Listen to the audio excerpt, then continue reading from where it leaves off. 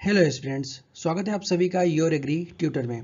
एक ऐसा प्लेटफॉर्म जहाँ हम बनाते हैं अपनी एग्रीकल्चर की स्किल को और भी बेहतर। स्टूडेंट्स आज की वीडियो में हम कवर करेंगे एग्रीकल्चरल करंट अफेयर जुलाई 2020 को। अगर आप चैनल पर नए हैं तो योर एग्री ट्विटर नाम से चैनल को सब्सक्राइब कर लें और वेलाइकन को प्रेस करना ना भूलें वीडियोज़ की नोटिफिकेशन को सबसे पहले पाने के लिए। सभी लेक्चर्स की पीडीएफ आपको व्हाट्सएप ग्रुप और टेलीग्राम ग्रुप पर मिल जाएँगी। ग्रुप को ज्वाइन करने का लिंक आपको डिस्क्रिप्शन बॉक्स में मिल जाएगा। तो चलिए शुरू करते हैं। एस्पिरेंट्स पहली न्यूज़ है। World class state of the art honey testing lab inaugurate किया गया आनंद गुजरात में। और ये इनाग्रेशन हुआ वीडियो कॉन्फ्रेंस के थ्रू हमारे एग्रीकल्चर मिनिस्टर श्री नरेंद्र सिंह तोमर जी के द्वारा। हनी टेस्टिंग लैब इस्टेब्लिश किया गया नेशनल डेयरी डेवलपमेंट बोर्ड और नेशनल वी बोर्ड के सपोर्ट से। ये स्क्रीनशॉट है इनाग्रेशन डे के वीडियो कॉन्फ्रेंस का। Indian council of agriculture research ने 16 जुलाई 2020 को अपना बानवेवा फाउंडेशन डे स्थापना दिवस सेलिब्रेट किया। आईसीआर एक ऑटोनॉमस बॉडी है, जो department of agriculture research and education के अंतर्गत काम करता है। आईसीआर की स्थापना सोसाइटी रजिस्ट्रेशन एक्ट सोलह अठारह के अंतर्गत 16 जुलाई उन्नीस सौ उनतीस को हुई थी। आईसीआर एक एपेक्स बॉडी है, जो कोऑर्डिनेट करता है गाइड करता है और मैनेज करता है रिसर्च और एजुकेशन को एग्रीकल्चर, हॉर्टिकल्चर, फिशरीज और एनिमल साइंस के फ़ील्ड में। आईसीआर के अंतर्गत 102 आईसीआर इंस्टीट्यूट और इकहत्तर एग्रीकल्चर यूनिवर्सिटीज काम करती हैं। एग्रीकल्चर मिनिस्टर श्री नरेंद्र सिंह तोमर जी ने 25 जुलाई 2020 को वीडियो कॉन्फ्रेंस के थ्रू वर्ल्ड बैंक के रिप्रेजेंटेटिव के साथ मीटिंग की। इस मीटिंग में ये डिसाइड किया गया कि ग्वालियर और चंबल क्षेत्र का जो बीहड़ एरिया है, उसको एग्रीकल्चर के अंतर्गत लाया जाएगा। आपसे क्वेश्चन पूछा जा सकता है कि किस क्षेत्र के बीहड़ एरिया को एग्रीकल्चर के अंतर्गत लाया जाएगा? तो आपका आंसर होगा Gwalior and Chambal region. Meeting किसके साथ की गई, ये भी ध्यान रखना है वर्ल्ड बैंक के साथ। यूनियन कैबिनेट जिसके अध्यक्ष होते हैं प्राइम मिनिस्टर, उन्होंने एक pan India central sector scheme को अपना अप्रूवल दिया है। स्कीम का नाम है एग्रीकल्चर इंफ्रास्ट्रक्चर फंड। इस स्कीम के अंतर्गत पोस्ट हार्वेस्ट मैनेजमेंट के लिए मीडियम लॉन्ग टर्म के डेप्थ फाइनेंशियल फैसिलिटीज़ को प्रोवाइड कराया जाएगा। जिसमें इंटरेस्ट सबवेंशन और फाइनेंशियल सपोर्ट भी शामिल होगा। एग्रीकल्चर इंफ्रास्ट्रक्चर फंड स्कीम के अंतर्गत बैंक्स और फाइनेंशियल इंस्टीट्यूशन को लोन देने के लिए गवर्नमेंट के द्वारा एक लाख करोड़ रुपए प्रोवाइड कराए जाएँगे और ये लोन किन बेनिफिशरीज को मिलेंगे, आइए इनको देखते हैं। Primary agricultural credit society marketing cooperative society farmer producers organisations self help group farmers video को पॉज करके आप इन सभी बेनिफिशरीज के नाम को ध्यान से पढ़ लेंगे। देखते हैं अगली न्यूज़ को। A comprehensive exercise for mapping of crops under each of Rythu Bharosa Kendra has started by Andhra Pradesh Andhra Pradesh के द्वारा प्रत्येक रायतु भरोसा केंद्र पर एक बड़े पैमाने पर क्रॉप मैपिंग की एक्सरसाइज शुरू की गई है। क्रॉप मैपिंग क्या होता है? जीपीएस डेटा के अकॉर्डिंग क्रॉप की एनालिसिस करना क्रॉप मैपिंग कहलाता है। Central marine fisheries research institute के अकॉर्डिंग तमिलनाडु राज्य पहले नंबर पर है फ़िश प्रोडक्शन में 2019 के डेटा के अकॉर्डिंग।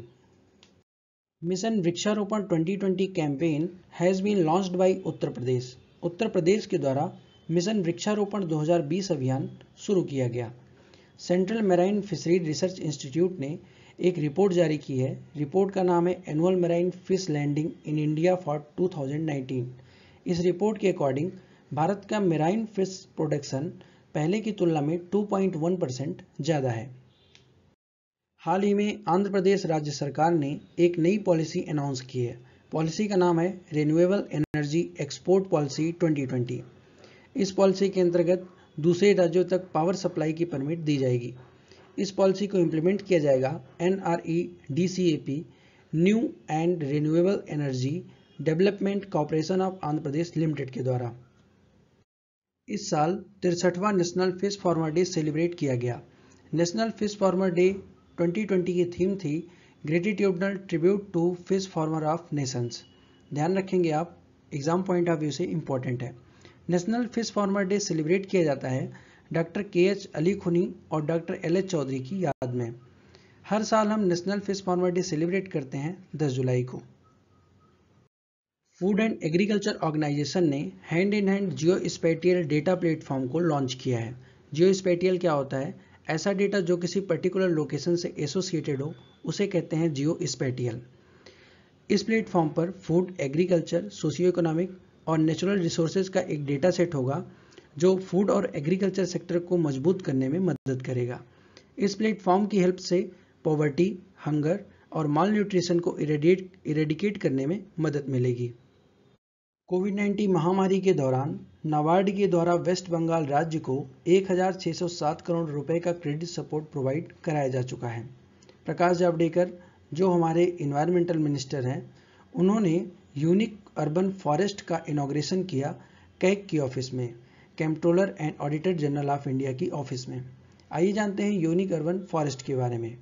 यूनिक अर्बन फॉरेस्ट एक एकड़ में फैला हुआ है और इसकी खास बात यह है कि यहाँ पर एक ऐसा इकोसिस्टम है जो मधुमक्खियों, पक्षियों और सूक्ष्म जीवों और तितलियों के लिए हैबिटेट बनाने में सक्षम है।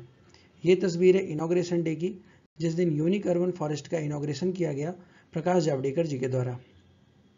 भारत सरकार के आत्मनिर्भर भारत अभियान के सपने को पूरा करने के लिए सीड बैंक स्कीम को लॉन्च किया गया है। इसका ऑब्जेक्टिव है नेचुरल कैलेमिटी के दौरान सीड प्रोवाइड करवाना। इस स्कीम के अंतर्गत पूरे भारत में डिस्ट्रिक्ट वाइज सीड बैंक तैयार किए जाएँगे। 650 डिस्ट्रिक्ट्स में फार्मर्स को लाइसेंस दिया जाएगा सीड बैंक चलाने के लिए। फार्मर्स को सीड बैंक चलाने की ट्रेनिंग लोकल किसान विज्ञान केंद्र में दी जाएगी। Zoram mega food park inaugurate किया गया वर्चुअल कॉन्फ्रेंस के थ्रू श्रीमती हरसिमरत कौर बादल के द्वारा मिजोरम के कोलासिब डिस्ट्रिक्ट में। इस मेगा फ़ूड पार्क के स्टैब्लिश होने पर 25,000 फार्मर्स को सीधे तौर पर फ़ायदा मिलेगा और 5,000 स्थानीय लोगों को एम्प्लॉयमेंट मिलेगा। मिजोरम का यह पहला मेगा फ़ूड पार्क है। इस मेगा फ़ूड पार्क में आइए देखते हैं कौन कौन सी सुविधाएँ उपस्थित हैं। Cold storage dry warehouse ripening chamber मसाले सुखाने की सुविधा और खाद्य परीक्षण प्रयोगशालाएँ। भारत सरकार एक मेगा फ़ूड पार्क को स्थापित करने के लिए लगभग 50 करोड़ रुपए प्रोवाइड कराती है। वर्तमान में विभिन्न राज्यों में 18 मेगा फ़ूड पार्क परियोजनाएँ ऑपरेशनल फ़ेज़ में हैं। इनमें से चार पर काम पूरा हो चुका है। ध्यान रखेंगे आप, one nation, one ration card scheme announce की गई फ़ूड मिनिस्टर रामविलास पासवान के द्वारा। ये स्कीम जून 2020 से प्रभाव में है। इंटरनल माइग्रेंट्स को सेंट्रल के द्वारा मिलने वाली सब्सिडीज़ का सीधा लाभ मिल पाएगा। One nation, one ration card scheme के तहत राइस थ्री रुपीज़ पर केजी और वीट टू रुपीज़ पर केजी की दर से लाभार्थियों को मिल पाएगा। One nation, one ration card scheme Bharat के 20 राज्यों और केंद्र शासित प्रदेशों में अभी काम कर रही है। स्टूडेंट्स आइए देखते हैं कुछ मिसलिनियस न्यूज़ को। आंध्र प्रदेश सरकार ने राजशेखर रेड्डी के इकहत्तरवें जन्मदिन को चिन्हित करने के लिए रायथो दिनोत्सव किसान दिवस के रूप में सेलिब्रेट किया। उड़ीसा राज्य ने बलराम नाम की एक योजना लॉन्च की इस योजना की मदद से कोविड 19 के दौरान कठिनाई का सामना कर रहे जो भूमिहीन किसान हैं, उनकी वित्तीय सहायता, उनको वित्तीय सहायता प्रदान की जाएगी। उत्तराखंड स्टेट ने, उत्तराखंड राज्य ने 150 से अधिक लाइकेन प्रजाति के एक अनुसंधान केंद्र के रूप में इंडिया का पहला लिचन पार्क विकसित किया है।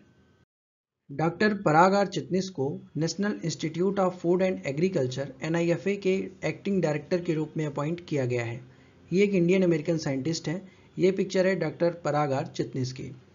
तमिलनाडु राज्य ने अनाउंस किया है कि वो टर्मरिक रिसर्च इंस्टीट्यूट को इस्टेब्लिश करेंगे।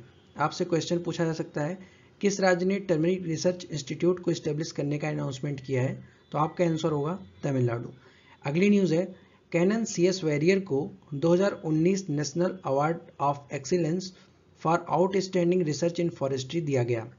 और ये अवार्ड दिया जाता है Indian council of forestry and education के द्वारा। ये पिक्चर है कैनन सी एस वॉरियर की। केरल ने नारियल मिशन में उद्यमियों की तकनीकी सहायता के लिए एक स्टार्टअप मिशन और एग्री बिज़नेस इंक्यूबेशन शुरू किया है। इसका नाम है यावा ध्यान रखेंगे आप। नेशनल फर्टिलाइज़र लिमिटेड एनएफएल ने एक mobile soil testing soil lab launch किया है। इसकी मदद से किसान के घर पर ही उसके सॉयल के सैंपल को टेस्ट किया जाएगा। कृषि संजीवनी सप्ताह महाराष्ट्र सरकार के द्वारा लॉन्च किया गया है, इसमें किसानों को नई तकनीकी सिखाने में मदद मिलेगी। 2010 से 2020 के दौरान टॉप टेन कंट्रीज़ जिन्होंने अपना फॉरेस्ट एरिया बढ़ाया है, उसमें भारत की रैंक तीसरी है। ध्यान रखेंगे आप, डॉक्टर हर्षवर्धन ने वेदर फॉरकास्टिंग मौसम पूर्वानुमान के लिए हाल ही में एक ऐप लॉन्च किया है ऐप का नाम है मौसम। एस्पिरेंट्स अगर आपको वीडियो अच्छी लगी तो वीडियो को लाइक करें और शेयर करें अपने दोस्तों के साथ। चैनल को योर ग्री ट्विटर नाम से सब्सक्राइब करें। लेक्चर की पीडीएफ के लिए व्हाट्सएप ग्रुप या फिर टेलीग्राम ग्रुप को आप ज्वाइन कर सकते हैं। वहाँ पर आपको लेक्चर की पीडीएफ मिल जाएगी। मिलते हैं नेक्स्ट वीडियो में। Thank you for watching god bless you all